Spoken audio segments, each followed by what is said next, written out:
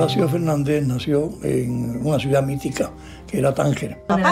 Era una familia importante, una familia relevante dentro de, podemos llamarla, la burguesía eh, española.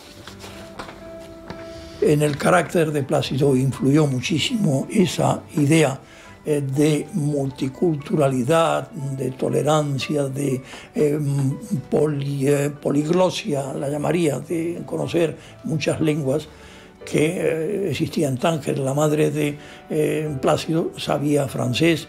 Por ejemplo, su hermana, eh, tenía dos hermanas, Dorila y Olga.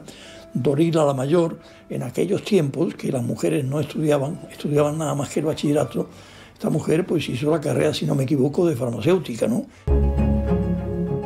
Plácido estudió con los eh, franciscanos, que no solamente eran eh, profesores, sino que eran uno de los eh, grupos que más importancia tenían en la historia de Tánger.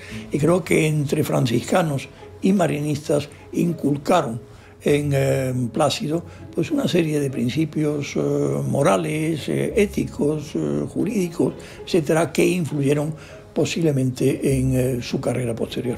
Y posteriormente siguió también en Nador, en Nador, que es una ciudad de Marruecos, la que pues a lo mejor el puesto tenía más importancia que el inicial que había ocupado en Constantina. Estar al frente de un juzgado en Nador, donde no solamente tenía que juzgar a los eh, españoles, sino también a los marroquíes rifeños, pues eh, es una labor eh, muy difícil que supone que Plácido era un juez de primera categoría.